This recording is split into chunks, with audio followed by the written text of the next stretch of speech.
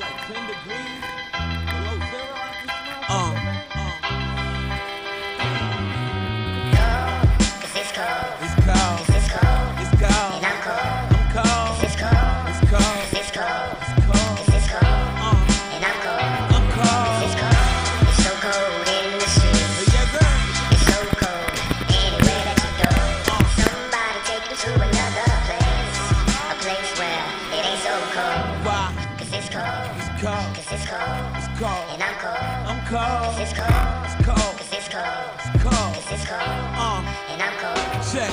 My mama with my grandmama now. I wonder what they saying when they looking down. Wonder if I made them proud. I made it this far. I wonder if that made them smile. I took something so well and I made it mad. But now people taking my comments for a weakness. Talking shit about me like I ain't one of the deepest. Like I ain't connected to them niggas with them sweepers. That'd be happy to introduce fools to the grim reaper.